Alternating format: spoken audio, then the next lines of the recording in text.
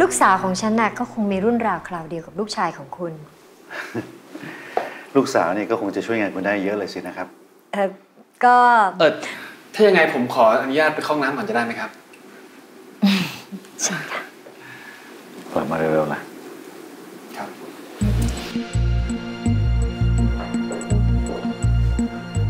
น่าเสียดายจังเลยค่ะ ที่วันนี้ลูกสาวฉันไม่ได้มาทำงานด้วย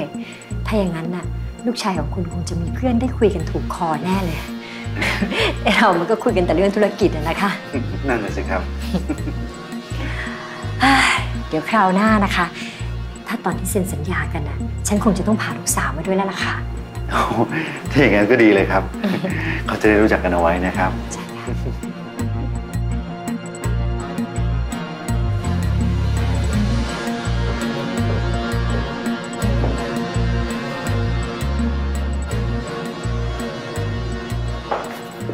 อ้าวคุณ ผมมารอคุณตั้งนานเนี่ยมีอะไรเหรอคะ อ๋อ เปล่าหรอกครับ พอดีผมแค่รู้สึกว่าเราสองคนเนี่ย ยังไม่ได้ทำความรู้จักกันเลยนะครับ สวัสดีครับ ผมโทเจรเวคะไปเอาข้อมูลยอดขายของเดือนนี้จากการตลาดมาให้ฉันที ได้ค่ะ ด่วน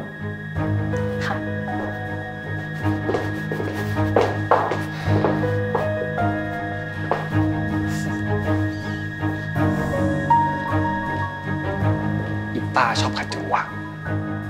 นี่พ่อ จะพาผมมาด้วยทำไมเนี่ย ให้มานั่งคุยกับคนแก่โคตรน่าเบื่อเลย เดี๋ยวคราวหน้าเขาจะพาลูกสาวมาด้วยแกได้เลิกบ่นสักที อะไรนะพ่อ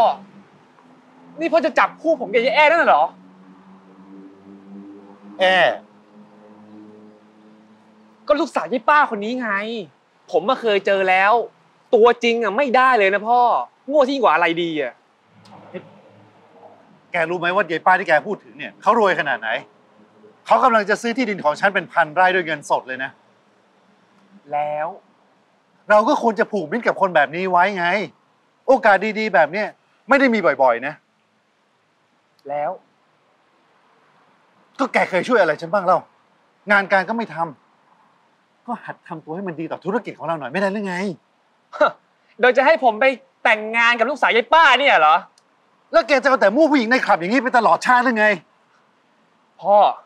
ชีวิตของผม ผมจะใช้ยังไงก็เรื่องของผมนี่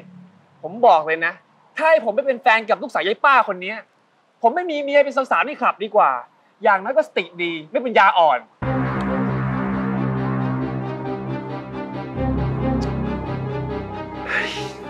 มันจะไฟตามไปถึงไหน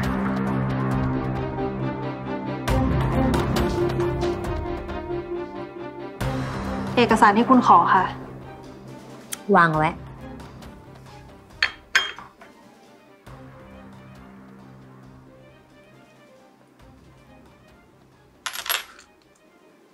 คุณทวัตที่เข้ามาคุยกับคุณทอแสง ใช่คุณทวัตวันประกาศหรือเปล่าคะแกถามทำไม ไม่มีอะไรค่ะ ฉันแค่สงสัย แค่สงสัยนั่นหรอ แต่แกรู้จักทั้งชื่อทั้งนามสกุล ยังไงฉันก็ต้องทำงานให้คุณ ก็ควรจะรู้ไว้ไม่ใช่เหรอคะ ถ้าแค่เรื่องงานน่ะก็ดีนะ ฉันแค่คิดว่าแกจะทำเพื่ออย่างอื่น อย่างอื่นที่คุณว่าหมายถึงอะไรเหรอคะ ช่างมันเถอะนะ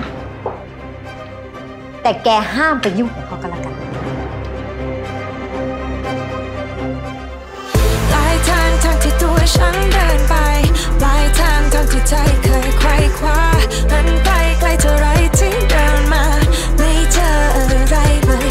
magia.